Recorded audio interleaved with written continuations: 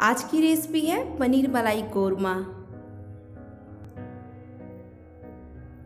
एक पैन में हम थोड़ा सा ऑयल डालेंगे और पनीर को हम शैलो फ्राई करेंगे। आप चाहो तो डीप फ्राई कर सकते हो और चाहो तो बिना फ्राई भी यूज़ कर सकते हो। इसको दोनों साइड अच्छे से गोल्डन ब्राउन कर लेंगे।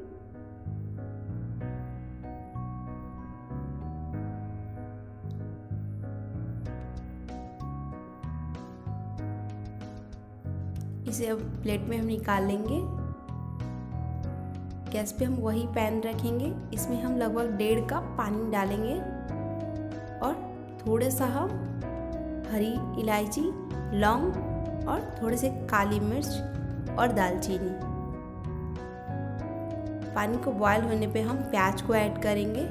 इसमें थोड़ा सा लहसुन, हरी मिर्च और अदरक ऐड करेंगे और मुट्ठी भर काजू। इसे थोड़ी देर चला के हम इसे 12 से 15 मिनट तक ढक के कुक करेंगे। पंद्रह मिनट हो गए हैं। पानी, प्याज पूरा ऑब्ज़र्व कर लिया है। अगर पानी रह जाए तो आप स्ट्रेन कर लें।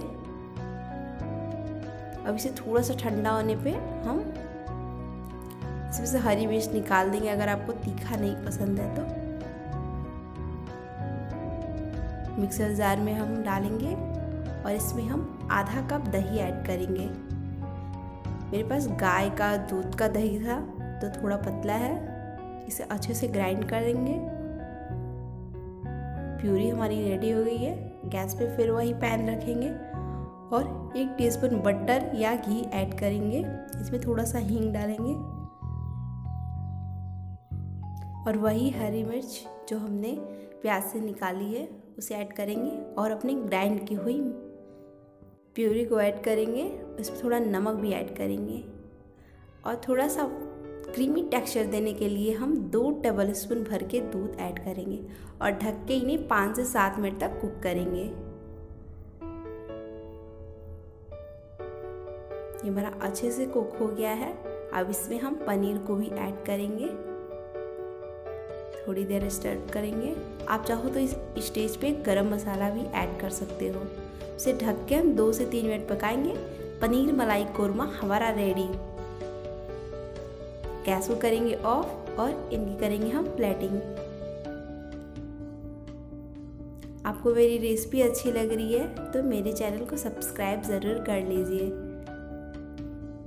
और साथ में बाल आइकन भी प्रेस कर लीजिए। पनीर मलाई कोरमा डन। और ऐसी ही रेसिपी देखने के लिए मेरे चैनल से जुड़े रहें। Thank you